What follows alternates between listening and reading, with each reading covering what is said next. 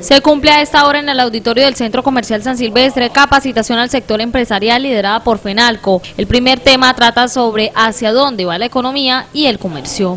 Bueno, hay un mensaje muy claro para los comerciantes y para los empresarios en general de la región, es que no le tema a la competencia, que le tema más bien a la incompetencia.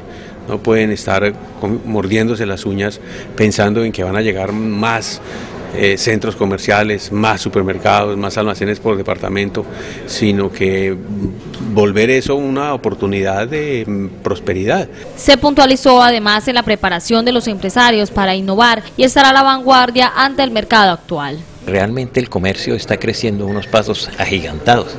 Barranca es una ciudad que a nivel nacional está corriendo a una velocidad enorme y nosotros los comerciantes tenemos que estar preparados. Esta conferencia nos está dando unas estrategias, lo que se está moviendo en el comercio a nivel mundial, lo que viene para Barranca Bermeja y tenemos que prepararnos, tenemos que capacitarnos y lo que concluyó la conferencia, si usted no se capacita, no estudia, no se especializa, va a fracasar. Durante la tarde la ponencia tendrá enfoque hacia la responsabilidad social empresarial.